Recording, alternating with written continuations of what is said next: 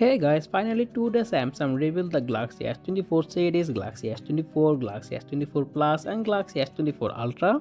One of the biggest upgrade Galaxy S24 series, the phone offers you 7 years of security update and 7 generation of OS update. And the smartphone built with Gorilla Glass Victus 2 on the front and back with aluminum frame. The Galaxy S24 Plus featuring a 6.7 inch WQHD plus 120Hz dynamic AMOLED display for the first time and a peak brightness level is 2600 nits. The Galaxy S24 and Galaxy S24 Plus using Qualcomm Snapdragon 8 Gen 3 for USA, South Korea and China and all around the world is come with the Exynos 2400 SoC include India. The smartphone also come with 12GB of RAM, 256GB and 512GB of storage. When it's come to software, the Galaxy S24 series come with Android 14P installed with One UI 6.1. Galaxy S24 series can provide live translations of your call, both verbally and on screen,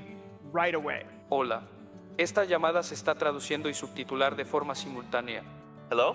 Can I make a reservation for tomorrow at 7 p.m.? In the camera department, the Galaxy S24 Plus comes with triple camera setup in the back, 50 megapixel main sensor, 12 megapixel ultra wide and 10 megapixel telephoto lens with 3x optical zoom and the front is come with single 12 megapixel selfie camera. The S24 Plus comes with the 4900 mAh battery and the phone also supports 45 watt fast charger and 15 watt wireless charger.